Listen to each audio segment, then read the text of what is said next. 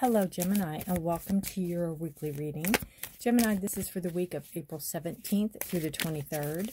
This is a general reading. It won't resonate with all of you, so please feel free to check your moon and rising signs if there's more information in those for you. And take what resonates from this reading and please leave the rest. And just, you know, some words will stick out. Just, just uh, pay attention to what feels right to you, right? Gemini, if you're new here, thank you so much for coming across me. I really appreciate it um, and giving me a listen. My name is Rudi. I appreciate, again, you, your energies. I appreciate you all being here. And if you're returning, thank you so much for your uh, likes and subscribes, for all your comments. I appreciate all your energies, um, everyone coming back. So thank you again. All right, Gemini, let us see what we have for you. Gemini.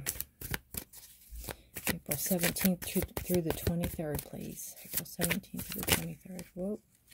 Whoa, whoa.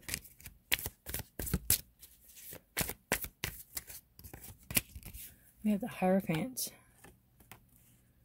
All right. Leadership. Tower. Knight of Cups. Bottom of the deck, we have victory. We have the Six of Wands. It's a victory card. It's a card of, um, you know, going through something, getting through something, showing others that there's a way out, that there's a way through, um, having great victory, knowing you didn't get here by yourself. There's others that helped you get to where you wanted to go. Whatever this victory is to you, whatever this winning is to you, um, but you are definitely um, you're definitely being exalted and being heralded and being uh, hailed and all the things um, for winning or doing something you wanted to do and, and getting through this. Six is a number of harmony and peace and success, and you definitely have that here.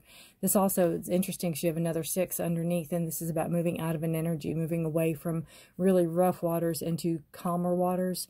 Um, you can be taking your thoughts with you, but you're sorting them as you take them. You're not taking a burden with you. You're taking um, thoughts that you need to kind of sort through, really, and sit with and figure out. Uh, but you can't do the drama. You can't do that. You have to move into uh, an area where you feel better. You feel more relaxed. Um, I almost feel, and I have to say it right off the bat, I feel like this is a marriage that broke up or a, or a union that broke up. Something that's traditional. Um, and I don't, the only reason I say that is because you're moving forward. You, you still have love to give somebody. You still have love to carry on out of this, um, whatever this is. The Hierophants usually, it can be a marriage card. It can be a card of uh, tradition. It can be a card of, um, you know, commitment, uh, making something official. Um, just like making a divorce official, uh, having the keys, having the knowledge, seeking the knowledge, knowing knowing that there's um, there's steps to take in in um, in a route that you have to do in order to make something um, the way you need it to be. You know what I'm trying to say? It's like if you need a divorce or you need a breakup, you ha- there's steps you have to take to get to there. But this it has to be done officially, and that's kind of what I feel with the marriage. I think it's a marriage, honestly. Um, I just feel like you've done all you could do. I feel like this this went as far as it could go. There was no other place for this to grow, and it had to break down. It had to come tumbling down, basically. It wasn't, um, it just wasn't going to work. It just wasn't going to work. You have uh, the Hierophant is a card of, let me think, uh, Taurus, I believe. And then the Tower is, I'm not good on my other cards. I know my main ones. I don't even know what number the Tower is. Oh, yeah. 16. Tower is a card of supposedly Scorpio. I don't know if I believe all that. But anyway, it says it is. Um, but again, you've taken it as far as you can go. And you're moving out of this. You're moving out of this. I feel like you're moving out of this the bigger person. Again, you're moving away from the drama. You're moving away from what, what is draining you. And you may be coming out of this financially better. Um, there is going to be hardships. There is going to be hurt. There's going to be a feeling of loss, obviously. But you're going to be able to start a new page. You're going to be able to move forward and, and move into a new energy. You know, turn the page and be able to start the slate clean. You just can't do the drama. You can't do the bickering. You can't do the yelling and screaming. You can't do the things. And you're moving into this energy of victory. It's almost like you're coming out of this going, I'm, I'm better than when I went into this relationship. I'm better than when I went into this partnership or, or whatever this is. It, I, I still feel like it's a, it's a, a love thing, like a union. Um, and you're going to be better off for it coming out of it. It just couldn't go on the way it was going on. I feel with the tower energy, you know, lightning hits the top and it you know it to me it, it's a jolt in your mind. It's a jolt in you going what are you doing? You know? You start the ball rolling. If you don't start the ball rolling the universe will. You know this had to happen. This will happen. It's it's always a shock. It's always a jolt when it does. But it has to um, it had to happen for you to be able to move forward for you to be able to feel this sense of victory and feel the sense of pride and feel the sense of it's almost like a relief a relief that you can now move forward and you can you can go in search of the love that you know is out there maybe. Because the knight of cups is all all about love. He is the knight of romance and he's the knight of you know wearing his heart on his sleeve and he's the knight of um, intuitiveness and happiness and all the all the things, you know. He's he's a sweetie. I like the Knight of Cups. He's very much sweet. Very much, very, very um, endearing. All right.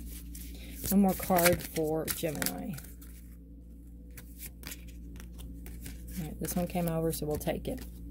This is movement. That it's like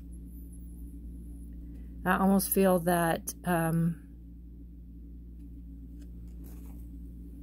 you know, especially with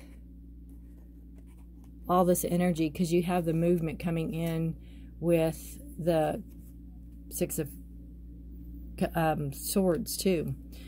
Um, it's like as long as you're going you're going to be good. As long as you're moving forward i feel like any anywhere you go you carry your home with you. Look at that. It's like a, a windmill up there on their, their back And that's a number 28 card, so 8 and 2 is 10, which is the number of completion. All right, let's see what the book says. It says movement is you are in a time of positive forward motion. And that's what I see with the Knight of Cups. This is a time for positive mo momentum as you come out of a period of restriction, right? You're in a stage of new adventure and discovery. You may feel compelled to take a trip, to change your hair, or move your home or business. Regardless, you can't remain where you are anymore. Right there.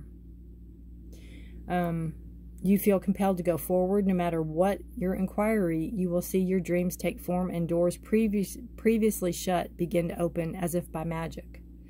Movement is also state of mind, the fogless, and you know the actions you need to take. This isn't the time for fear. Let it go and move forward.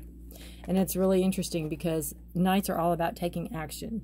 You know, they, they're going to move out of this and move into what they want, what they, they're searching for. And same with the six. You're taking action. You're moving out of this energy, right? It's, it, the fog lifts and you now know the actions you need to take. This isn't the time for fear. Let go and move forward. Beautiful. That's exactly what you're doing. You're letting go and moving forward. I can't make this up. These are two absolutely different decks. I cannot make it up. So that is what I'm seeing, Gemini, for this week. Um, and I just also see you're very sure. You're very sure of yourself. You know, I almost feel like the horse is sure footed, but you're sure footed. You know where you're going, you know what you're doing. And you may not know know it, but you know you're moving in a better direction is what I, I feel. You know you're moving in a better direction. Um, you're not keeping up something that is draining you. You're not keeping up something that is false or something that is not real to you. You're moving into into what you want out of life, what victories you want, and what love that you're seeking. All right? Beautiful. Beautiful, beautiful. Gemini, let me know how this resonates. Take care of yourself, take care of each other. Please stay safe and healthy. And by all means, be blessed. I will see you next week. Bye for now.